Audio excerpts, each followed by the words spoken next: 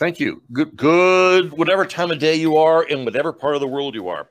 I'm uh, uh, webcasting to you from beautiful uh, Portland, Oregon. Um, I'm just finishing a weekend with my son and new daughter in law who just got married yesterday. So I am outrageously happy. So uh, hopefully, some of that will communicate my enthusiasm about talking about Arliss. I put a poll in just to uh, know about uh, how many folks know about Arliss ahead of this presentation. And um, I'll be happy to answer your questions at the end. And I'm going to go on and start the pitch. So ARLISS is an acronym for a rocket launch for international student satellites. And it's frankly the oldest CanSat or CubeSat launch in the world now going on. We started in 1999 and we've done it annually. It is 22 years of rockets, robots, and STEM. And it is the ancestral uh, point. And I hope to share some of the things that we've learned from it and the projects that we've worked on to illuminate um, more of what the work you guys want to do. Uh, if you heard my pitch on 3D printing, so you've already heard who I am, but I'll go through it again for those of you that are new. Um, I wanted to be an astronaut. But when I grew up in the 50s and 60s, uh, the only people who could be astronauts were fighter pilots. So that wasn't going to be necessarily my future. So I needed to think about my robots to explore for me. My career arc is as a physicist, then as a computer scientist, then as a Silicon Valley startup guy, mostly in the role of CEO and CTO. My uh, wheelhouse is as a wireless networking expert, and I can claim at least partial parentage of Wi-Fi, cable modems, uh, computer security, and the internet. I've been doing 30 years in amateur rocketry. I'm a ham, TRA level three, a TAP for 20 years, sat on various boards in the in the uh, amateur rocketry, held amateur altitude records. My team, uh, Arliss Extreme, uh, we in 2012 we changed the bar to go above 100,000 feet on commercial motors fully published and fully documented with real GPS data. Um, I put my own PicoSat in orbit to go test communication systems. And I've been mentoring adults and students for about 20 years using rocketry as a, as a hook to be excited about rockets and robots and satellites. So I want to talk to you about Arliss today and how it began. It was motivated by challenging to develop engineering training for space as long development cycles, a long queue for time to orbit, though that queue is decreasing. Um, most engineers end up building payloads rather than rockets. And so, well, except we're seeing a, a provision of new launcher companies right now, but few of those are going to end up succeeding just by the nature of startups. So Arliss chose to focus training on payloads and not just on rockets and it created a couple of new standards. Uh, CubeSats and CanSats came out of Arliss in the early days. And now we're seeing a new standard called Pocket Cubes, which are one eighth the size of a CubeSat at five centimeter. And this reflects the fact that even today, cost for a satellite is highly coupled to mass. Lighter is cheaper. And I can put up a one U, 1P CubeSat, pardon me, 1P Pocket Cube for about $25,000. And that's a lot less than any any other format. And that LEO is a relatively benign space place. Commercial electronics work pretty well for reasonable amounts of time. And so we can practice for space closer to ground. And so Arliss, in its 20 years, began as the original CanSat program in 1999. I give you a link there to uh, testimonial evidence by the guys that were there. I came in on uh, 2000, so I wasn't at the original kickoff meetings. But the original guy we owe this to is really Bob Twiggs, who is now retired from Stanford, and uh, Nakasuka of Tokyo University, and also of JAXA, and their colleagues at other universities that uh, partnered with the Aeropac Rocket Club of Northern California, then led by Pius Morozumi and Tom Rouse. And it created a unique system of amateurs to provide high reliability rocket flights. And our core rocket in Arliss M looks a lot like the prototype of all the 10K rockets that uh, many of our students are flying. and the students would provide the payloads, just like students would buy a ride, or payloads buy a ride on a commercial rocket launcher. And that partnership between payload and ride uh, became the foundation. Today, it's hosted, it's an annual event every September, hosted by Aeropac and organized jointly with UNISEC Global, the Worldwide University Space Engineering Consortium. And ARLISS is both a TRA activity and an NAR section. We have many, many, many universities from around the world. We've flown about 700 plus missions uh, with only three failures to deliver payload, which is a, a respectable 99.8% deployment success rate. And thousands of students have passed through the program. And many countries, their first satellites that go into orbit are constructed by alumni of the ARLISS program. So one example I'm going to take is Yuichi Tsuda. He's now a professor of uh, uh, Institute of Space and Astronautical Science at JAXA. And he was there in 1999 as a student flying a first generation CanSat, flew CubeSat first generation, flew the first deep space solar sail as the deputy project manager, and was the lead project manager for Hayabusa 2, the asteroid return mission. So the, the disciplines of learning how to build and compete, building great payloads, uh, is, is really kind of a great, and uh, is a very competitive system. So there's 20 years of doing ARLISS stuff, and I'm going to try to review them all here. The classic we call ARLISS Classic. We fly CanSats, which today the major payload is autonomous robots. Uh, the key mission on these autonomous robots is we call the comeback competition, in which we give the robot uh, a set of GPS coordinates on the Black Rock Playa, and the payload that, when deployed at apogee, roughly about uh, 10,000 feet, uh, find its way back to those GPS coordinates either by landing and crawling, by gliding, or by flying as a quadcopter or something that we haven't even thought about. Uh, all that matters is the closest to the target goal. Um, another project we've done along the way is Virtual Classroom, which has now uh, been retired, but was the real first project to use satellite internet to deliver ARLISS to the entire internet, since we have we had an international collection of uh, students. we always wondered uh, in the early days on our rockets, what was the experience of our payloads? Because you see, if you're flying a commercial payload, there's generally a set of specs that payloads must uh, conform to in terms of shock, vibration, temperature.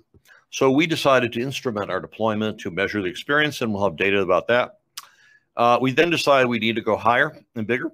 So we built ARLISS Extreme, which is moving ARLISS towards the Kármán line, and we'll talk about that airframe. And it's targeted really in this range between 100 and 200,000 feet. ARLISS S4 takes it smaller, recognizing that uh, we can build satellites much smaller than a CubeSat, and we can think, begin thinking about swarms of smaller satellites rather than just bigger satellites. And the, we can get a lot of value out of the effective interferometry of having a swarm of satellites. And pocket cubes are kind of the exemplar of that size. And so S4 tries to uh, make a paradigm baseline design for pocket cubes. ARLISS Light, if you have pocket cubes, you need to think about flying them. And you can fly them on big rockets, as think about rideshare on big commercial rockets, but you can also fly them on very small rockets. So in the same way that we can build a rocket like a, a SA Cup 10K or an ARLISS M that flies one satellite of CubeSat size, we now can build smaller airframes, ARLISS Light, that essentially fly one or two or three uh, pocket cubes. And lastly, to make the complete range out, we have ARLISS Micro, which essentially takes the same electronics and same software in the ARLISS satellite S4 satellites and shrinks it down to the size of a hen's egg to fly it essentially in TARC size eggs. So ARLISS Classic. The model here is to build a rocket. You've seen uh, this particular design at the bottom is from 2000. It's one of my first rockets, uh, first L3s. Uh, it looks like, as you might imagine, very much like a uh, TARC rocket. I mean, uh, a, a 10K rocket. The difference for ARLISS is that we have a, a community of about 10 to 15 level three flyers that fly and build these reliably. And um, we then take our, are partners with student payloads. Generally, our student payload is roughly the size of a volume of a 3U, but more like the mass of a 1U, though there's a 3U space in these rockets. And we have a known flight acceleration shock profile. We fly with standard motors. Each airframe is about the same mass. So we deliver about the same ride to every payload. And much of you've seen this. Here comes, you know, 20, my 20 year old slide of uh, we deploy, deploy at apogee a few seconds after apogee, kind of aligning the um, uh, nose cone towards the ground to minimize any fouling of, of uh, recovery materials. We then deploy the student satellite. Uh, the biggest, well, there are a number of competitions. The most important one is the comeback competition, which you can pick your way of coming back. Um, and here's some resources to point out to documentation of uh, past articles that talk more deeply about ARLISS Classic. I want to share with you a video. I hope this works. This is video now 15 years old. This is an ARLISS flight. Three, two, one.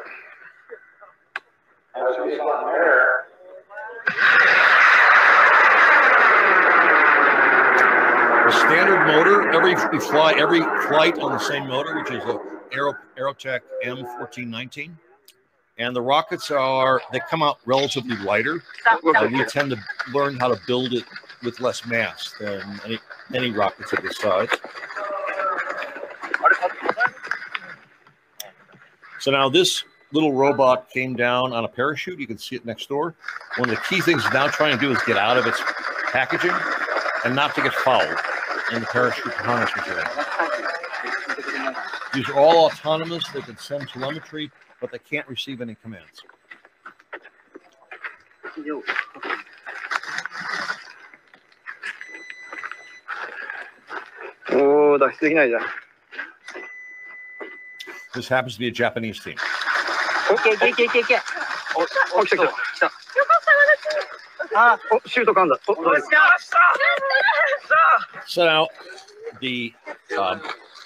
robot is trying to figure out which way it needs to go. Which way is the uh, goal?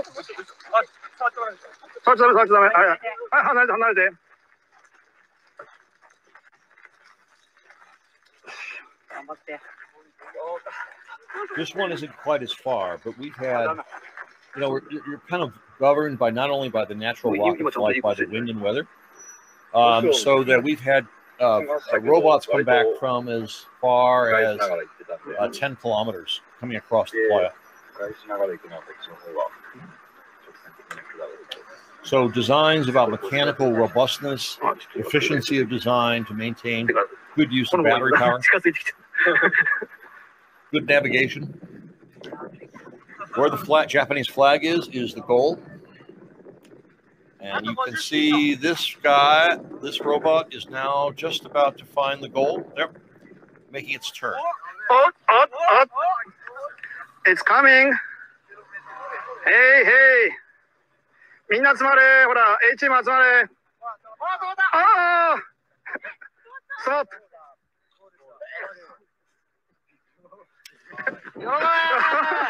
両方こうした。もっともっともっともっともっと。 So um, one of the things you'll see there is that the, the limits of accuracy in those days, 15 years ago, was roughly the limits of GPS, which is kind of like three meters.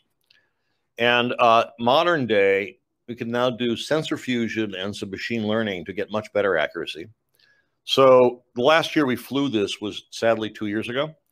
And the winning team was a woman led team from Japan that um, they've had a rover much like that except they enhanced it with vision and imaging and machine learning. They threw they flew their uh, payload three times. The first time they flew it, it only came within about two centimeters of the goal. The second and third time, it actually hit the goal. Uh, it was just an amazing experience of doing sensor fusion, robustness of landing, robustness of recovery, a truly outstanding piece of engineering. So Arliss satellites over the years, we began with CanSats, which are the classic uh, soda can size. Moving on to CubeSats. Moving on to the most common robot right now is about a cube-sized mass or a little less. That is not of the same form factor. This one uh, is deployed kind of as a cylinder. Those legs are all spring-loaded and they're folded against the body. When the at deployment, the legs uh, spring out and have these uh, really, really cleverly designed um, wheels that are essentially these spikes that are perfect for navigating tough terrain. So that's one of my favorite ones. And now we're come down to pocket cubes. The one on the left is a, a five centimeter 1P. The one in the middle is a 1.5P, and then the one on the left is a 2P. And um, I'm looking forward to seeing us building swarms of these rather than just simple big robots. Uh, this is a model of, of uh, my S4 project with uh, foldable antennas. So I've been flying um, basically what people have been flying as um, SA Cup 10K projects uh, for about 20 years. And ARLISS M is basically, a, a, it deploys up to a 3U CubeSat, and it deploys it roughly at 10K with a 98 millimeter motor mount. Uh, so an ARLISS M is essentially the same as the prototype of most SA Cup 10K projects. And my experience is that's my rocket with one of my teams. Uh, so I've built about four of these and I've flown it about 40 plus times. Collectively, as ARLISS, as I've said, we've done about 700 plus successful missions. I've lost memory, over 99% mission success. One of the key things that I've learned about and have to keep reminding myself is think about airframe venting, avionics venting, redundant avionics. Switches always fail. Pick the right switches. Uh, know your shear pins and test them. And think about payload deployment following.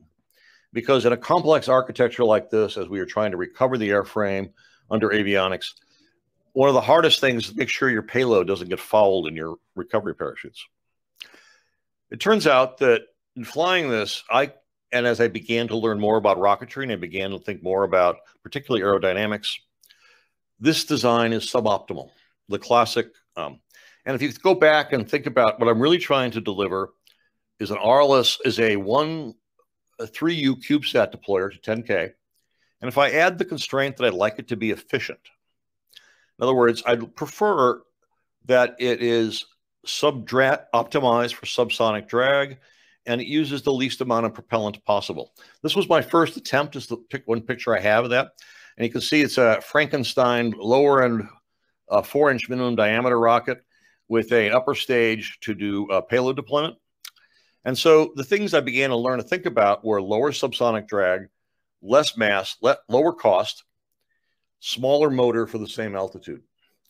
And I eventually built one. I don't have the picture of it, sadly, but it looked like this and uh, it had about 30% lower drag, 30% in mass, and hence it got about 30% more altitude on the same motor. So when I flew this on an M1419, rather than going to about 10 or 11K, it went to 16K. And I think that we, as we think about doing a complete system design for the complete system, the only way it makes sense through opt, well, only drag analysis makes sense on the entire airframe is to do it for the mission. And subsonically, drag is really all about, just like on a ship in the water, it's all about wetted area. And so von Karman nose cones of high, large fineness ratios just aren't interesting and aren't appropriate. So thinking about as a system, this is kind of an optimal architecture for a sub subsonic 3U CubeSat deployer. I would love someone to find a better one. So when you add in efficiency and cost, analysis matters much more. So second project we did was ARLISS Virtual Classroom, essentially saying, you know, we're bringing in all these international teams. We need to have a virtual presence for education, tracking, voice, and internet communication. We built one of these uh, from 2006 to 2016. Uh, we got a donated XTV van from uh, uh LA TV station. We added on a, a satellite plus cellular internet. We had local servers, hotspots, uh, UFF, UHF, and VHF voice and data gateways. So we use this actually on many of our things for high-level mission tracking as a ground station. And here's links to resources that tell you more about the details. It's now become retired to be a California Emergency Services. They're using it for emergency uh, deployment in the case of wildfires in California. Our curiosity was want to document the flight stresses on payloads, much like you do on a commercial flight. So we built a custom payload deployer uh, as a variant of our standard payload deployer to measure shock vibration and acceleration. It had a uh, fits in the bottom of a ARLISS M payload deployer, and it was led by a team of Bob Feretich and his team from 2012 to 2017. Uh, great little measurement instrument with a 200G 3D accelerometer, a 2000 degree per second 3D gyro. The most important thing is it had the speed to gather data at 1.3 kilohertz in terms of the sample rate. So we could begin to see real detail in terms of shock and vibration. We got great data um, on flight events, launch acceleration, do the integration to find the power of your motor but most importantly about deployment shock. So we've been able to calculate the, the typical deployment shock spectrum. One of the conclusions actually came out of this, we did this both for black powder deployment as well as CO2. We found them effectively the same. And there's a conventional wisdom that somehow CO2 is gentler. Uh, we didn't find that in real data. So there's a great set of reports that are online that I urge you to go look at. Then our project was ARLISS Extreme, which we started uh, roughly about eight years ago. The goal was to build a low cost, reusable amateur sounding rocket that could go closer to 100 to 200K.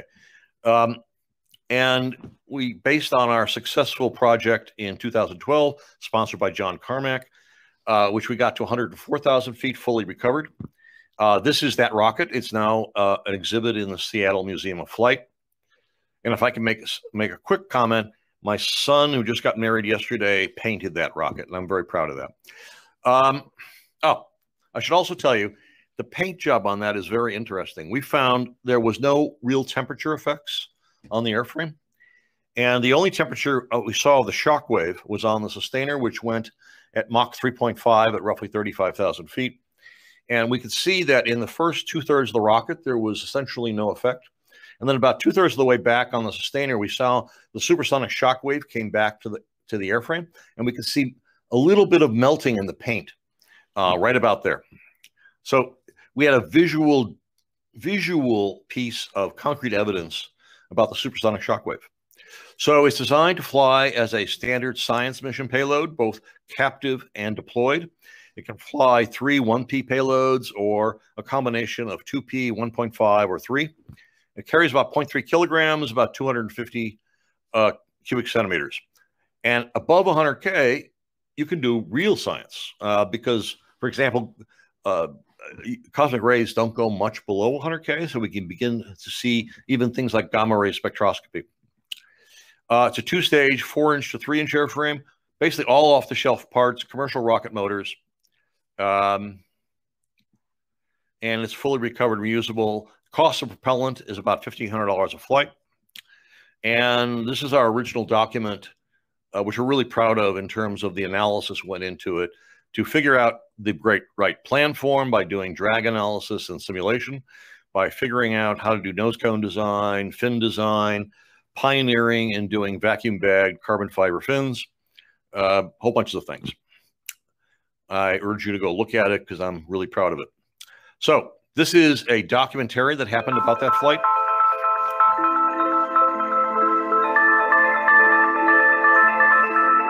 I think it's enormously liberating to be able to give individuals the power to investigate their world. Technology always starts as something esoteric and expensive, and then it filters down to the masses.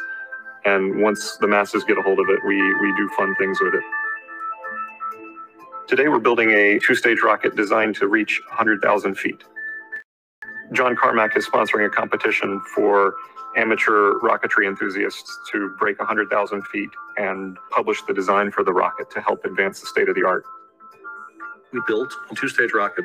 So you start with one stage that burns for a while. You discard all the extra weight, leaving another rocket that fires again, and it flies the rest of the 80% of the flight Two stage was the only way we could reach the altitude we wanted, but it's very difficult to get a successful two stage flight. The Black Rock Desert is the best place in the world for this kind of rocketry. We've got the biggest piece of nowhere uh, anywhere on Earth. It's a very challenging environment to launch in. There's wind, there's dust, it's hot. It makes life difficult every way it can.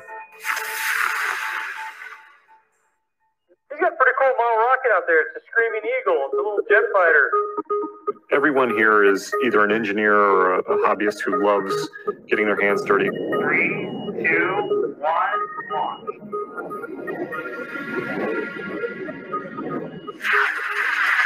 For us, this is all a big playground.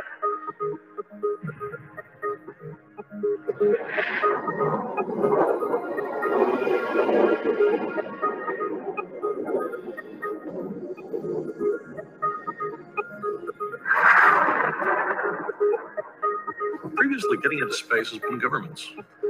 Now we're moving to the place where individuals can find a way to get close to space, right? We're doing it ourselves as opposed to depending on other people doing it. So I think this is a trend of do it yourself. We've got our droid astronaut. He's uh, he's getting ready for his first flight. We started to see that we could fit a phone in the nose cone of this hundred thousand foot design. The phone's got a gyroscope, it's got an accelerometer, it's got a barometer, it's got a GPS, it's got all these sensors that make it sort of like a little miniature satellite that we could conceivably relay that data to a ground station. And that tells us an awful lot about what the rocket was doing in flight. There's only been a handful of amateurs who have gotten over 100,000 feet. The highest piece that men have gone to is Everest, which is 29,000 feet.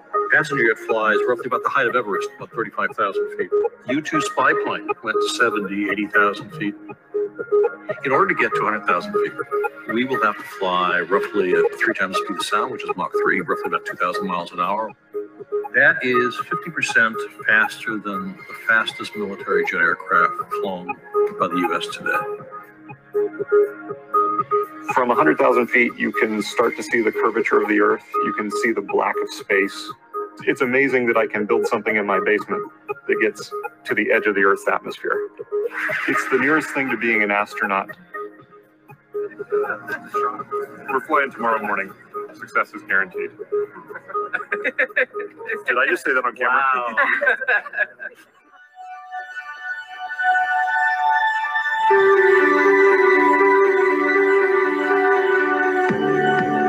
I think there's nothing more ecstatic and more frightening, actually, is when something you built is sitting on a launch pad. Butterflies galore in the last few seconds just before you push the button, because at that point, you you don't have any control of it. It's off on its own. 10, 9, 8, 7, 6, 5, 4,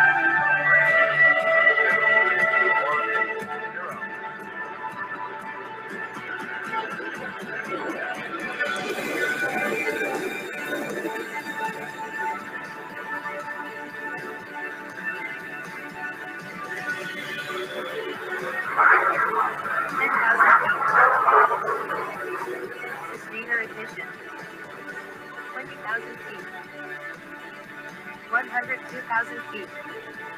FP at 104,659 feet at T plus 93 seconds.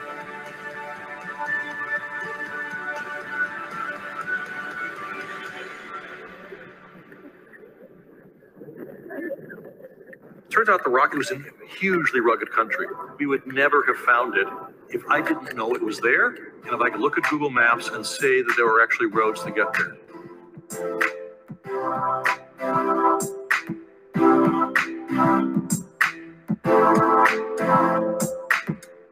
Here's our guy. nothing broken, nothing chipped. He's all good. No, 300,000 feet is the demarcation of space. That's that's really space, and um, we're not sure if we can get there or not, but we think we can get awfully close. The thrill of this thing compels me to try and go a little better, a little faster, a little higher. So let me move on. And um, uh, Project Next is Arliss S4, which is essentially replacing Pocket Cubes as kind of the new um, a baseline of, of, of STEM payloads. And it's based upon using a 3D printed five centimeter diameter uh, dimension Pocket Cube package. uh, can be deployed either for captive carry inside the rocket or independent recovery. Uh, the nice thing about size is now we can make many of these. We can think about swarms. So telemetry and radio communications become important. It's based on a high-end uh, 130 megahertz uh, uh ARM processor. Core software is written in C++. So, uh, but Python is possible, but Python for these stages dramatically reduces the sample rate. It has embedded uh, wireless LoRa wireless telemetry, both uh, down to the ground station, but also using carrier sense multiple access to be able to share the channel and communicate between uh, satellites in a swarm. You can design a mission with some subset of the uh, sensors to design measure flight dynamics, air pollution, look down with synthetic synthetic cameras to do plant growth, water coverage, uh, or uh, to, to, recover an autonomous robot swarm on virtual Mars by equipping each of your little pocket cubes with Rogallo wings and uh, LoRa telemetry between them. And because the fundamental electronics are commercial, most of them will fly in LEO. Some sensors don't make any sense clearly in vacuum. You need to do add the uh, a, a, better uh, power system for uh, solar cells. Uh, and I'll leave you with a, a link to the uh, to the description of the system. And this is a system I'm spending a lot of time on and upgrading in terms of getting the latest processor technology and the latest uh, sensor technology. One example of a 1P pocket cube that is not an ARLISS project is FossaSat, which was developed by a team of Spanish high school students. It's a 1P pocket cube.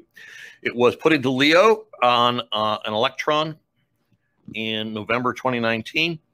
I love it because it pioneers using LoRa to LEO, and they succeeded in getting a few packets uh, from their system from down to the ground. But using a $5 uh, radio is really cool. Now, the first Pocket Cube was a $50 sat in 2013 that was launched on a, a Russian Dnepr. And um, it also used a $5 chip that was an older chip, basically FSK modulation at 300 baud. So um, one of the nice things about these latest LoRa chips is they can also be modulated in FSK or RTTY. So we can have a variety of mission profiles with customized telemetry. So I've built this now uh, to fly small pocket cubes, built an optimized carrier for S4 satellites. It's a minimum designed for minimum subsonic drag, lowering the entire wetted area. So it gets the highest altitude on the least cost. It flies S4 satellites built on a fiberglass body tube, uh, commercial Altus-Metrum avionics, 3D printed parts in PETG of the nose cone avionics bay, S4 payload itself, flyaway launch lugs, fin cans, recovery anchors, motor retainers. And here's a link to the products, and it flies really nice. Five, four, three, two, one. Um, ARLISS Micro is then the smallest, and I think about it as TARC for payloads. And as I was talking to um, uh, uh, our leader of uh, TARC, the idea of now stripping down and doing a payload the size of a hen's egg. So we've now can reduce the payload to a basic same processor, same software, same telemetry, core sensors of GPS plus other sensors on the I squared C bus. It's just smaller and it fits in a small space. Um, we're looking to not only use the same software, but build a reduced version in Python that's a little easier to um, modify, even if it's a smaller sample rate and it's deployable in a little uh, 3D printed airframe off a micro rail uh, to you know a thousand feet. And um, so now we can think about missions from a thousand feet with hen's eggs up to orbit. So if you have your payload, you now can choose to fly it a thousand feet in a park. You can fly a bigger one, an S4, a complete pocket cube uh, from 1,000 feet to uh, 5,000 feet. You can fly at a swarm of them on a classic ARLISS rocket, either on a K or an M motor to uh, 10,000 feet. Or you can fly on an ARLISS Extreme with 3U worth of, pay, probably 3P worth of payload uh, to about nominally 150,000 feet and $500 per uh, satellite. six, or take it to orbit. five, four, Mission. three, two, one.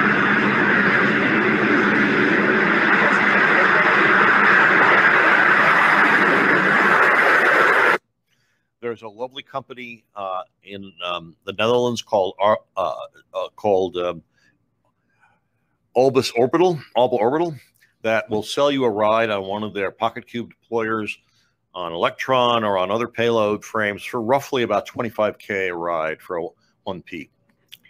So come join us at ARLISS. We you can build your own rockets and build your own payloads and fly them anytime, any place, from Park to Leo or come join us with the competition with the world every September every year at Aeropac uh, in combination with Unisec at Black Rock, Nevada.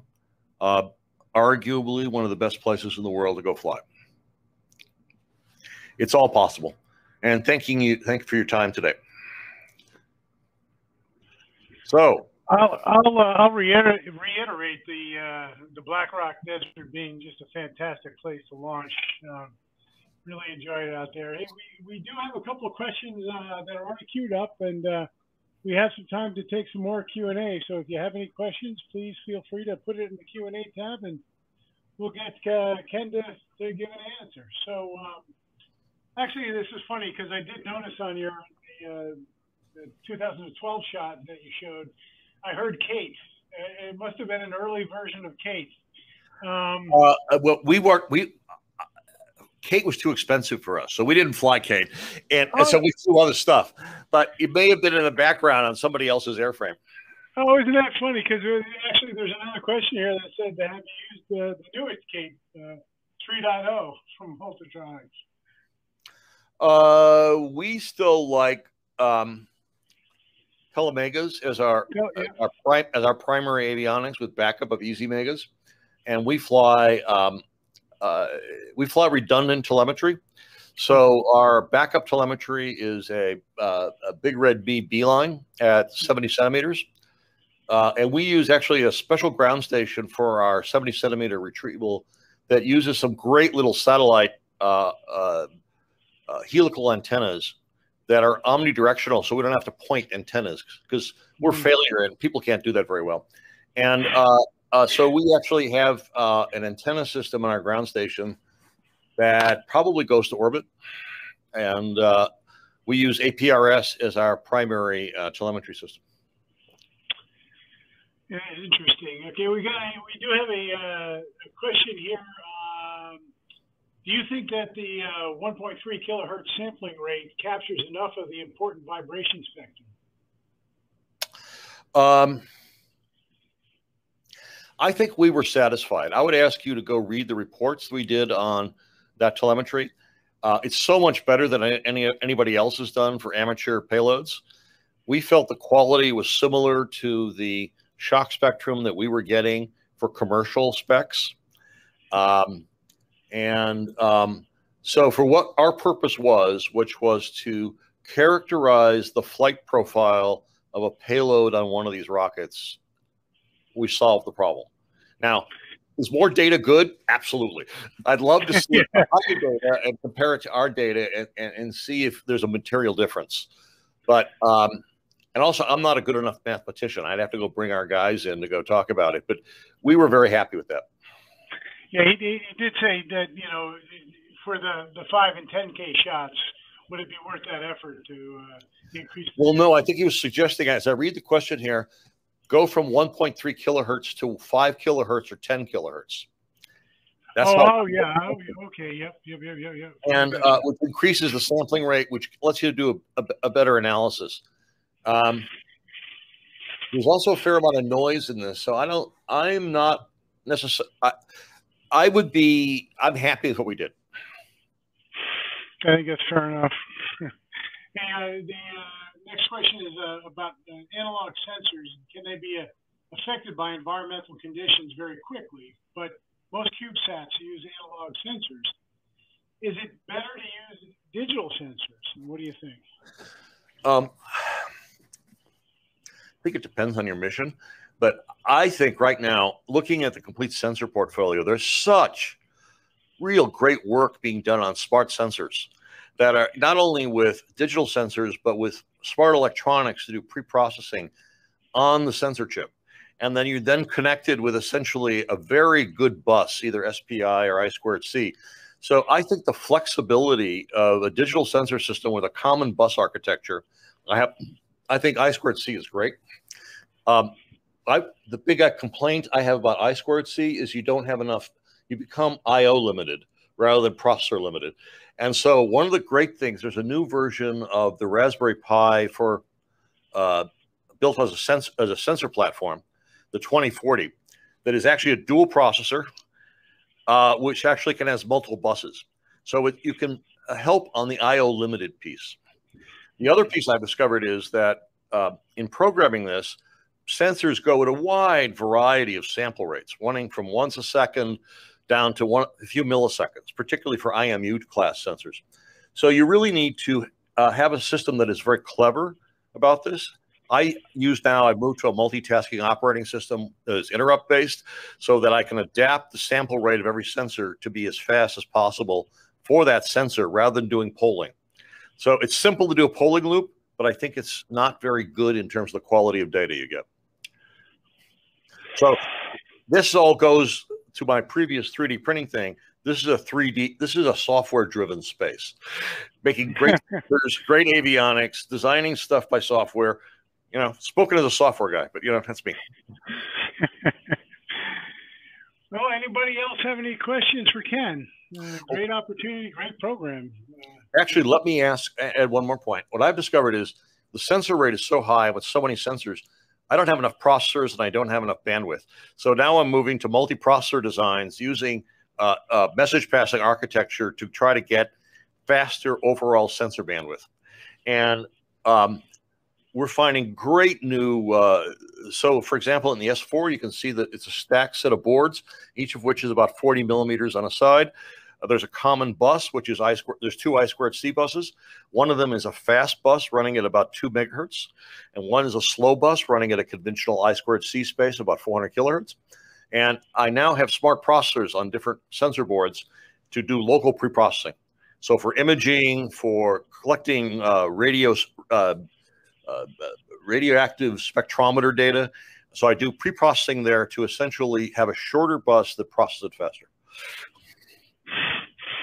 I'm having way too much fun, actually. I'm just, I'm just thinking, and, and you, you, you uh, seems like you spent a fair amount of time thinking about this as well as your 3D printing. So, you know, um, COVID, uh, data logging. Um, one of the problems with SD cards uh, is that they come loose on shock. Hmm. And the last thing you want to do is have your in the middle of your flight, your SD card come loose, and you lose all your data. So I'm moving to a flash memory that is hardwired. Um, uh, I found a wonderful new, uh, for those of you that use Adafruit, Adafruit has a wonderful new little 512 megabyte. Uh, sol- it uses the same electronics as an SD card, but hardwired. So there's no spring loaded little card. Uh, and it's going to be far more robust to flight flight dynamics. All right. Uh, anybody else out there? Okay, well, thank you guys. And if anybody wants to come fly, fly ARLISS in addition to SA Cup, come join us. You know, if you got a great robot that you think can uh, uh, do the combination of machine learning with imaging and GPS and other sensors that can hit the flag, come show us. All right. Thank you very much, Steve. And uh, thank you for the audience and questions. And thank you. All right, Ken. Bye bye.